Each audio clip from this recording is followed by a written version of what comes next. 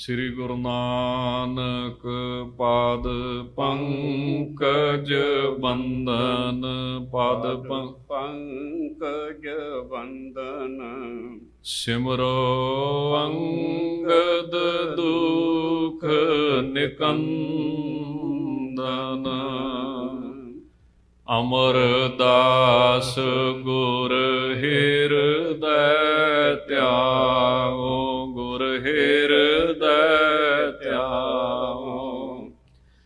ਸ਼੍ਰੀ ਗੁਰੂ ਰਾਮਦਾਸ ਗੁਣ ਗਾਵੋ।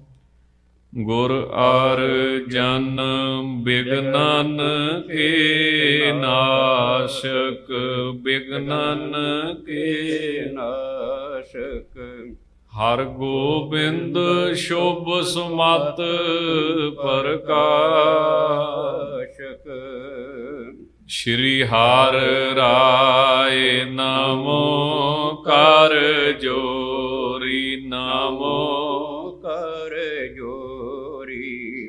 ਗੁਰ ਹਰ ਕ੍ਰਿਸ਼ਨ ਮਨਾਏ ਬਹੋਰੀ। ਤੇਗ ਬਹਾਦਰ ਪਰਮ ਕਿਰਪਾਲਾ, ਪਰਮ ਕੇ ਸ਼੍ਰੀ ਗੁਰੂ ਗੋਬਿੰਦ ਸਿੰਘ ਵਿਸਾਲ ਜਿਸ ਮਹਿ ਅੰਮ੍ਰਿਤ ਗਿਆਨ ਹੈ ਮਾਨਕ ਭਗਤ ਬੈਰਾਗ। ਸ਼੍ਰੀ ਗੁਰੂ ਗ੍ਰੰਥ ਸਾਹਿਬ ਉਦਦ, ਬੰਦੋਂ ਕਰ ਸ਼੍ਰੀ ਗੁਰ ਸ਼ਬਦ ਕਮਾਏ ਜਿਨ ਜੀਤੇ ਪੰਜ ਵਿਕਾਰ। ਤਿਨ ਸੰਤਨ ਕੋ ਬੰਦਨਾ ਸਿਰ ਚਰਨਨ ਪਰ ਧਾਰ। ਏਕੰਕਾਰ ਸਤਿਗੁਰੂ, ਤੇਹ ਪ੍ਰਸਾਦ ਸਚ ਹੋਏ। ਵਾਹਿਗੁਰੂ ਜੀ ਕੀ ਫਤਿਹ। ਬਿਗਨ ਬਿਨਾਸਨ। ਸੋਏ ਵਾਹਿਗੁਰੂ ਜੀ ਕੀ ਫਤਿਹ। ਬਿਗਨ ਬਿਨਾਸਨ ਸੋਏ। ਸਤਨਾਮ। ਸ੍ਰੀ ਵਾਹਿਗੁਰੂ ਸਾਹਿਬ ਜੀ ਦੋਹਰਾ ਤ੍ਰਿਤੀ ਹੋਮ ਹੈ ਗਿਆਨ ਕਾ। ਰਸ ਰਖੀਗ ਕੇ ਦਰਬ ਗਿਆਨ ਅਗਨ ਮੈਂ ਹੋਮ ਹੀ ਤਨ ਹੰਤਾਦਕ ਸਰਬ। ਤ੍ਰਿਤੀ ਹੋਮ ਹੈ ਗਿਆਨ ਕਾ। ਪਰਮ ਸਨਮਾਨਯੋਗ ਗੁਰੂ ਰੂਪ ਖਾਲਸਾ ਸਾਧ ਸੰਗਤ ਜੀਓ। ਸਨਿਮਰ ਫਤਿਹ ਪ੍ਰਵਾਨ ਕਰੋ ਜੀ ਵਾਹਿਗੁਰੂ ਜੀ ਕਾ ਖਾਲਸਾ ਵਾਹਿਗੁਰੂ ਜੀ ਕੀ ਫਤਿਹ। ਆਪ ਸੰਗਤ ਬੜੇ ਪ੍ਰੇਮ ਦੇ ਨਾਲ ਸੱਚੇ ਪਾਤਸ਼ਾਹ ਧੰਨ ਗੁਰੂ ਗ੍ਰੰਥ ਸਾਹਿਬ ਜੀ ਦੀ ਪਵਿੱਤਰ ਹਜ਼ੂਰੀ ਅੰਦਰ ਜੁੜ ਕੇ ਬੈਠੇ ਹੋ। ਜਗਤ ਗੁਰੂ ਆਪ ਨਾਰਾਇਣ ਧੰਨ ਗੁਰੂ ਨਾਨਕ ਦੇਵ ਸਾਹਿਬ ਜੀ ਰਾਜੇ ਸ਼ਿਵਨਾਭ ਨੂੰ ਉਪਦੇਸ਼ ਦੇ ਰਹੇ ਹਨ। ਜਦੋਂ ਵੀ ਕੋਈ ਗੁਰੂ ਧਾਰਨ ਕੀਤਾ ਜਾਂਦਾ ਹੈ ਤਾਂ ਗੁਰੂ ਜਿਹੜਾ ਹੈ ਉਹ ਆਪਣੇ ਸਿੱਖ ਨੂੰ ਉਪਦੇਸ਼ ਦਿੰਦਾ ਹੈ। ਰਾਜੇ ਸ਼ਿਵਨਾਭ ਨੇ ਮਹਾਰਾਜ ਤੋਂ ਦੋ ਰਸਤੇ ਪੁੱਛੇ ਨੇ ਪਹਿਲਾ ਰਸਤਾ ਹੈ ਭਗਤੀ ਯੋਗ, ਦੂਸਰਾ ਰਸਤਾ ਹੈ ਹਠ ਯੋਗ। ਭਗਤੀ ਯੋਗ ਜਿਹੜਾ ਹੈ, ਉਸ ਵਿੱਚ ਗੁਰਮਤ ਦਾ ਮਾਰਗ ਆਉਂਦਾ ਹੈ। ਯੋਗ ਕਹਿੰਦੇ ਨੇ ਜੁੜਨ ਨੂੰ। ਭਗਤੀ ਕਰਕੇ ਪਰਮੇਸ਼ਰ ਦੇ ਨਾਲ ਜੁੜ ਜਾਣਾ। ਹਠ ਜੋਗੀ ਲੋਕ ਜਿਹੜਾ ਅਭਿਆਸ ਕਰਦੇ ਨੇ, ਹੱਠ ਕਰਕੇ, ਹੱਠ ਦੇ ਸਾਧਨ ਕਰਕੇ ਯੋਗ ਪਰਮੇਸ਼ਰ ਦੇ ਨਾਲ ਜੁੜ ਜਾਣਾ। ਸੋ ਇੱਥੇ ਮਹਾਰਾਜ ਸੱਚੇ ਪਾਤਸ਼ਾਹ ਬੜੇ ਪ੍ਰੇਮ ਦੇ ਨਾਲ ਰਾਜੇ ਸ਼ਿਵਨਾਵ ਦੇ ਸੰਸਿਆਂ ਦਾ ਜਵਾਬ ਦੇ ਕੇ ਉਹਨੂੰ ਜਾਣਕਾਰੀ ਦੇ ਰਹੇ ਹਨ ਕਿ ਇਹ ਵੀ ਰਸਤਾ ਹੈ, ਇਹ ਵੀ ਰਸਤਾ ਹੈ, ਇਹ ਵੀ ਰਸਤਾ ਹੈ। ਤੇ ਗੁਰਮਤ ਦਾ ਰਸਤਾ ਕੀ ਹੈ, ਉਹ ਵੀ ਸੱਚੇ ਪਾਤਸ਼ਾਹ ਦੱਸਣਗੇ। ਤਾਂ ਜਿੱਥੇ ਬਾਹਰਲੇ ਹਵਨ ਮੰਨੇ ਗਏ ਨੇ, ਯੱਗ ਮੰਨੇ ਗਏ ਨੇ, ਉਥੇ ਇੱਕ ਅੰਤਰੀਵ ਹਵਨ ਵੀ ਕੀਤਾ ਜਾਂਦਾ ਹੈ। ਜਿਵੇਂ ਗ੍ਰੰਥਾਂ ਦੇ ਵਿੱਚ ਆਉਂਦਾ, ਗਿਆਨ, ਅਗਨੀ ਦਗਧ ਕਰਵਾਣੀ। ਤੂੰ ਗਿਆਨ ਦੀ ਅੱਗ ਦੇ ਨਾਲ ਆਪਣੇ ਕਰਮ ਜਿਹੜੇ ਨੇ ਉਹ ਸਾੜ ਦੇ ਫੂਕ ਦੇ ਜਦੋਂ ਤੂੰ ਗਿਆਨ ਦੇ ਵਿੱਚ ਸੁਰਤ ਰੱਖ ਕੇ ਵਰਤੇਗਾ, ਜੋ ਮਰਜ਼ੀ ਕਰੀ ਜਾਈ ਸਰੀਰ ਦੁਆਰਾ, ਕਿਸੇ ਵੀ ਕਰਮ ਦੀ ਮੈਲ ਤੈਨੂੰ ਨਹੀਂ ਚਿੰਬੜੇਗੀ। ਤੂੰ ਪਾਪ ਪੁੰਨ ਤੋਂ ਉੱਪਰ ਹੋ ਜਾਵੇਂਗਾ। ਉਹਨੂੰ ਕਹਿੰਦੇ ਗਿਆਨ ਹਵਨ। ਆ ਇਹਦਾ ਸਿਮਰਤੀ ਦੇ ਵਿੱਚ ਜ਼ਿਕਰ ਆਇਆ ਹੈ, ਭਾਈ ਸੰਤੋਖ ਸਿੰਘ ਜੀ ਬੜੇ ਵੱਡੇ ਵਿਦਵਾਨ ਹੋਏ ਨੇ। ਇਸ ਕਰਕੇ ਥੋੜਾ ਜਿਹਾ ਗਿਆਨ ਰੂਪੀ ਹਵਨ ਦਾ ਇੱਥੇ ਜ਼ਿਕਰ ਕਰਦੇ ਹਨ। ਤਾਂ ਤੀਸਰਾ ਹੋਮ ਕੀ ਹੈ? ਵੀ ਇੰਦਰੀ ਰਸਾਂ ਦੇ ਪਦਾਰਥ ਗਿਆਨ ਰੂਪੀ ਹੋਮ ਹਨ। ਤਾਂ ਇੰਦਰੀਆਂ ਦੁਆਰਾ ਜੋ ਅਸੀਂ ਵਿਸ਼ੇ ਨੂੰ ਗ੍ਰਹਿਣ ਕਰਦੇ ਹਾਂ, ਇਸ ਤੋਂ ਆਪਣੇ ਮਨ ਨੂੰ ਮੋੜ ਲੈਣਾ। ਤ੍ਰਿਤੀ ਹੋਮ ਹੈ ਗਿਆਨ ਕਾ ਰਸ ਰਸੀ ਕੇ ਦਰਬ। ਔਰ ਇਹਨਾਂ ਰਸਾਂ ਨੂੰ, ਲੱਕੜਾਂ ਦੀ ਨਿਆਈ ਜਿੰਨੇ ਸਾਡੇ ਸਵਾਦ ਨੇ ਨਾ ਮਨ ਦੇ, ਇਹਨੂੰ ਗਿਆਨ ਦੀ ਅੱਗ 'ਚ ਸਾੜੀ ਜਾਣਾ ਵੀ ਆ ਵੀ ਮੈਂ ਨਹੀਂ ਕਰਨਾ, ਮੇਰੇ ਗੁਰੂ ਦਾ ਹੁਕਮ ਨਹੀਂ ਆਏ ਕਰਦਾ ਮੇਰੇ ਮਾਲਕ ਦਾ ਹੁਕਮ ਨਹੀਂ ਆਏ ਕੰਮ ਕਰਨ। ਦਾ ਤਾਂ ਇਸ ਤਰ੍ਹਾਂ, ਉਸ ਤਰ੍ਹਾਂ ਗਿਆਨ ਦਾ ਫਾਇਦਾ ਕੀ ਹੈ? ਮੰਨ ਲਓ ਅਸੀਂ ਕਹਿੰਦੇ ਵੀ ਗਿਆਨ ਗੁਰੂ, ਜੇ ਗਿਆਨ ਗੁਰੂ ਹੈ ਤੇ ਫਿਰ ਆਪਣੇ ਮਨ ਨੂੰ ਵੀ ਸਮਝਾ ਮਾਰੇ ਕਹਿੰਦੇ ਆਤਮ ਉਪਦੇਸੋ। ਨਾਮ ਵਿਭੂਤ ਰਾਓ, ਸੱਚੇ ਪਾਤਸ਼ਾਹ ਨੂੰ ਮੱਥਾ ਤੇ ਟੇਕ ਲਿਆ ਤੇ ਗਿਆਨ ਗੁਰੂ ਦੀ ਗੱਲ ਵੀ ਕੀਤੀ ਵੀ ਅਸੀਂ ਜਿੰਨੇ ਸਿੱਖ ਹਾਂ ਜੀ, ਅਸੀਂ ਕਿਸੇ ਸਰੀਰ ਨੂੰ ਨਹੀਂ ਮੰਨਦੇ, ਅਸੀਂ ਸ਼ਬਦ ਨੂੰ ਮੰਨਦੇ। ਤੇ ਸ਼ਬਦ ਕਹਿੰਦੇ ਨੇ ਉਪਦੇਸ਼ ਨੂੰ, ਤਾਂ ਜੇ ਕੋਈ ਗੁਰੂ ਕੀ ਸਿੱਖਿਆ ਨੂੰ ਮੰਨਦਾ ਹੀ ਨਹੀਂ, ਆਪਣੇ ਮਨ ਨੂੰ ਸਮਝਾਉਂਦਾ ਨਹੀਂ, ਤਾਂ ਉਹ ਫਿਰ ਗਿਆਨ ਗੁਰੂ ਵਰਤਦਾ ਤੇ ਜ਼ਰੂਰ ਹੈ। ਪਰ ਗਿਆਨ ਗੁਰੂ ਦਾ ਉਹਨੂੰ ਲਾਭ ਕੋਈ ਨਹੀਂ ਹੈ, ਸ਼ਬਦ ਗੁਰੂ ਦਾ, ਗੁਰੂ ਗ੍ਰੰਥ ਸਾਹਿਬ ਦਾ ਉਹਨੂੰ ਫਲ ਨਹੀਂ ਕੋਈ ਪ੍ਰਾਪਤ ਹੁੰਦਾ ਹੈ ਹੁਣ ਮਹਾਰਾਜ ਕਹਿੰਦੇ ਵੀ ਬਹੁਤੇ ਗ੍ਰੰਥ ਪੜ੍ਹੇ ਲਾਭ ਨਹੀਂ ਦਿੰਦੇ। ਲਾਭ ਉਹ ਚੀਜ਼ ਦਿੰਦੀ ਹੈ, ਭਾਵੇਂ ਥੋੜੀ ਪੜ੍ਹ ਲਈਏ ਥੋੜੀ ਸੁਣ ਲਈਏ, ਪਰ ਮਨ ਨੂੰ ਸਮਝਾ ਲਈਏ। ਮਨ ਸਮਝਾਵਨ ਕਾਰਨ ਕਸ਼ੂ ਪੜੀਏ ਗਿਆਨ। ਜਿਹੜੀ ਚੀਜ਼ ਦਿਲ ਦੇ ਵਿੱਚ ਵਸ ਜਾਵੇ, ਅਸਰ ਹੋਵੇ ਉਨਾ ਕੀ ਸੁਣਨ ਦਾ ਲਾਭ ਹੈ? ਤਾਂ ਇਸ ਤਰ੍ਹਾਂ ਫਿਰ ਇਹ ਗਿਆਨ ਜਿਹੜੀ ਅਗਨੀ ਹੈ ਮੰਨੀ ਗਈ ਹੈ।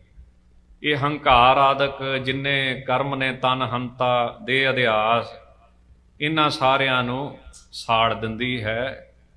ਬਸ ਇੰਨਾ ਹੈ ਵੀ ਇੰਦਰੀਆਂ ਦੇ ਜਿਹੜੇ ਵਿਸ਼ੇ ਨੇ ਅੱਖਾਂ ਨਾਲ ਰੂਪ ਦੇਖਣਾ, ਕੰਨਾਂ ਨਾਲ ਸ਼ਬਦ ਸੁਣਨਾ, ਜ਼ੁਬਾਨ ਦੇ ਨਾਲ ਰਸ, ਸਵਾਦ ਇਹਨਾਂ ਨੂੰ ਲੱਕੜਾਂ ਬਣਾ ਕੇ ਗਿਆਨ ਰੂਪੀ ਅਗਨੀ ਦੇ ਵਿੱਚ ਸਾੜਨਾ ਕਰੇ ਇਸ ਤਰ੍ਹਾਂ ਫਿਰ ਗਿਆਨ ਰੂਪੀ ਹਵਨ ਜਿਹੜਾ ਹੈ ਉਹ ਪੂਰਾ ਹੋ ਜਾਂਦਾ ਹੈ।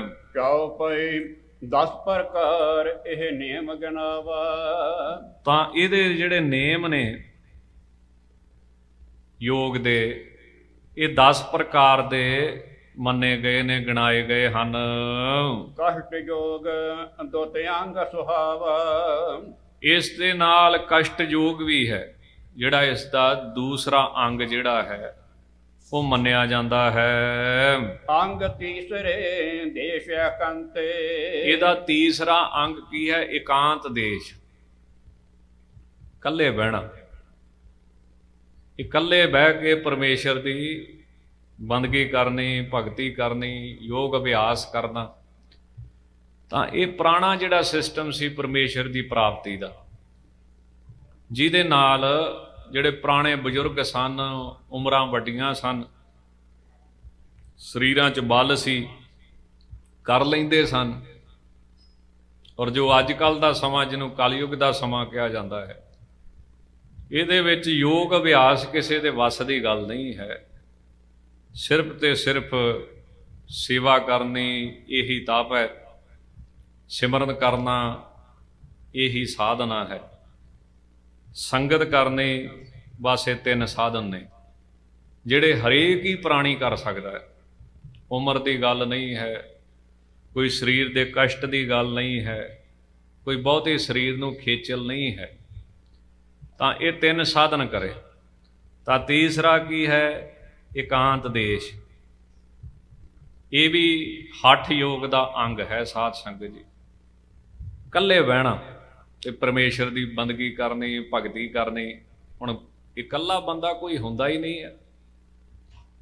ਜਦੋਂ ਇਹ ਇਕੱਲੇ ਹੁੰਦੇ, ਉਦੋਂ ਖਿਆਲ 'ਚ ਖੁੱਭ ਜਾਂਦੇ ਆਪਣੇ।